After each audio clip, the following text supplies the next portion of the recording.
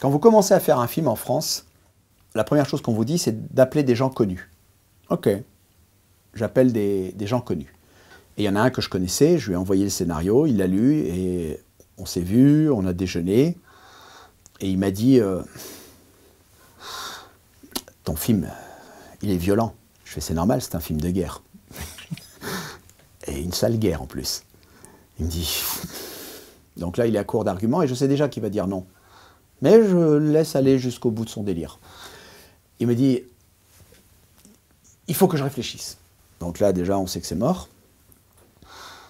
Et il me rappelle, euh, j'étais en vacances avec ma fille, et il me dit qu'il ne le fera pas, ce qui ne me surprend pas. Je ne lui demande pas pourquoi, mais il se sent obligé de me dire pourquoi. Et il a eu cette réponse délicieuse, il se reconnaîtra. Il m'a dit, quand ton film sortira, il y aura une polémique et je ne l'assumerai pas. Ok, je ne donnerai pas le nom de cet acteur, mais il est très connu et sachez que il adore Robert De Niro, il trouve ça époustouflant ce que fait De Niro dans Taxi Driver, il adore Michael Cimino, il adore tous ces films américains où les acteurs prennent des risques, tiennent un discours.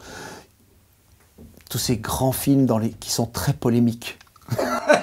Mais le mien, il n'assumera pas. Voilà. Donc je me suis dit, j'étais pas surpris, mais ça faisait partie aussi de mon petit plan personnel. Parce que moi, ce que je voulais, c'est Johan Eldenberg. OK?